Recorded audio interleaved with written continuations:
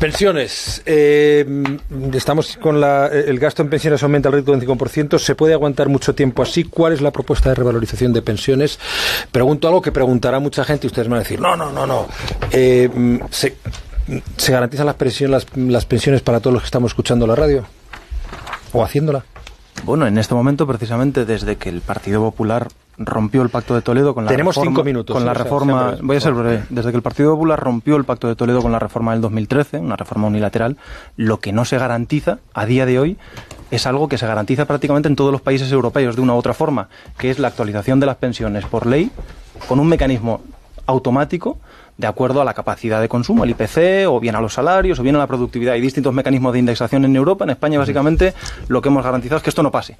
Y por eso pasan cosas como la que ha pasado en los últimos meses, que el gobierno de turno, en este caso Pedro Sánchez, puede utilizar esta dádiva electoral de subirle, actualizarle en, en campaña electoral a los pensionistas las pensiones, pero sin embargo, cuando pasen las elecciones no sabremos si esto será posible o no O sea será que posible. me, me está diciendo usted que Pedro Sánchez utiliza a los pensionistas como arma electoral. Bueno, yo creo que se ha utilizado, eh, se ha utilizado en esta ocasión en campaña electoral esa, es- ese mecanismo. No seré yo cuando el que en realidad lo que Pedro Sánchez, necesitaríamos, que saca lo la que calle necesitaríamos pensionistas ojo, es Podemos, ¿no? que se garantice por ley, yo. que se garantice por ley que no pueda ser ni Pedro Sánchez, ni Pablo Iglesias, ni, ni, ni, ni nadie quienes utilicen este mecanismo, que la ley garantice que las pensiones se actualizan de acuerdo al IPC todos los años.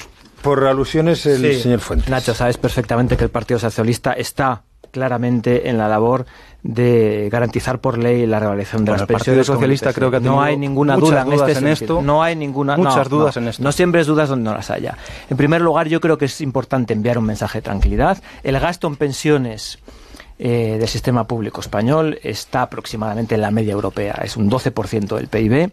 El déficit de la seguridad social está en 18.000 millones. Eso es algo innegable. Es verdad también que es un déficit que se ha contenido.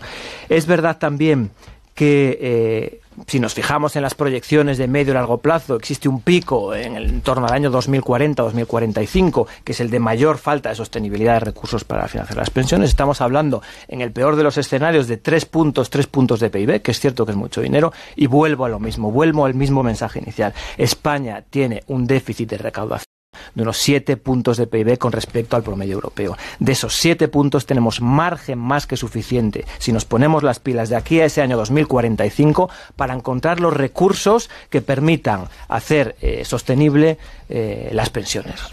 Eh, brevemente, señor de Quinto, quería hablar usted y luego Sí. terminamos. Vamos, eh, vamos a ver, esto hay que, hay que verlo también con, con luces largas y no solamente hacer electoralismo como está haciendo en estos momentos el señor Sánchez. Con luces largas, nosotros tenemos un país con una esperanza de vida de las mayores que existen en el planeta y con una de las más bajas natalidades. Luego, tomar en serio una política de natalidad, hacer de España un país un país donde uno quiera y pueda hacer una familia es lo que es muy importante, porque nuestros jóvenes retrasan y retrasan cada vez más la natalidad porque no tienen posibilidades para ello. Termino con ellos, ya sé que nos queda muy poco tiempo, pero creo que eso es muy importante y son gran parte de la- de- del, del foco que hay en el programa de Ciudadanos.